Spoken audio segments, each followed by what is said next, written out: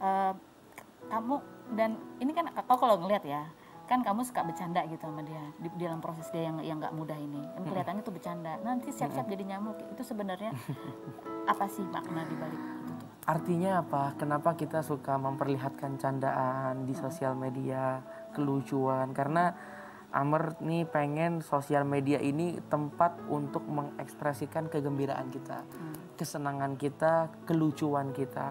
Nah, kalau ada hal-hal yang sensitif, hal-hal yang sedih, hal-hal yang membuat galau, hal-hal yang membuat ribut, lebih baik jangan di sosial media. Kalau Amar begitu prinsipnya Amar.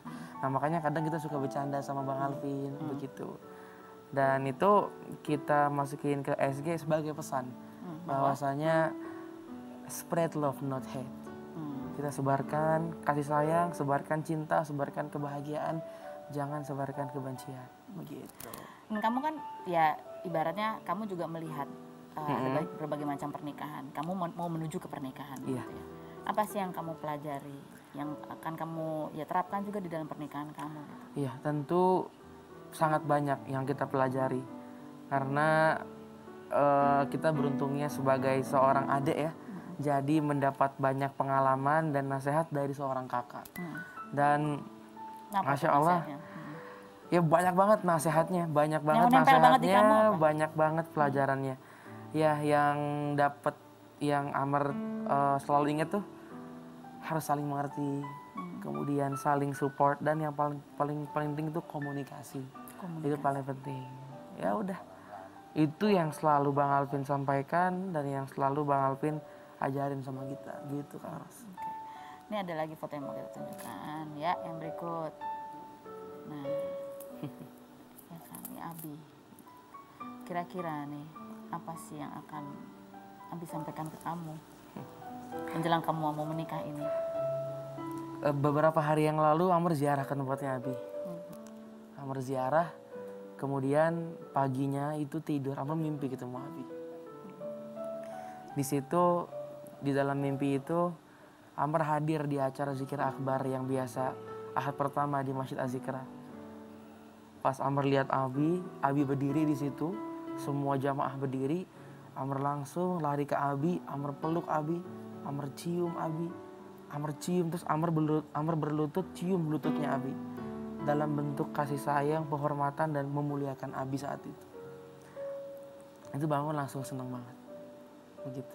Ada sedih nggak bahwa ketika kamu menikah ya, Hmm. Abi udah nggak ada gitu di dunia ini?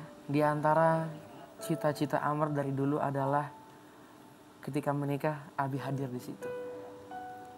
Tapi sekarang nanti 10 Juni Amr akan melaksanakan pernikahan, insya Allah Abi hadir di situ. Tapi Amr gak bisa ng- ngelihat Abi lagi. Gitu. Sebagai anak seorang ulama besar gitu ya, Amar. Kalian kan masih muda-muda. Menjadi beban nggak sih bahwa tingkah laku kalian kemudian selalu dikaitkan dengan Iya. almarhum gitu? Itu sudah menjadi resiko ya, eh, menjadi ulama terkenal ya, menjadi nggak buat kamu? Apa yang kamu rasakan sih? Eh, masing-masing orang kan punya ujian masing-masing ya. Kalau kamu? Masing-masing orang punya cobaan masing-masing ya mungkin ini eh, cobaan buat kita, ujian buat kita yang malah menaikkan derajat kita. Karena kadang-kadang Allah ngasih ujian sesuai dengan kapasitas hambanya. Begitu. Jadi kamu hadapi ini sebagai bagian dari ujian dari perjalanan hidup kalian. Iya, kalau misalnya Amr nggak pernah ngeliat apa selalu fokus dengan hikmahnya. Kalau fokus dengan masalahnya kita malah makin pusing, malah makin galau. Mendingan oh pasti ada hikmahnya nih. Ya udah jadi kita jalan lebih enak, lebih lempeng, jadi enak jalan.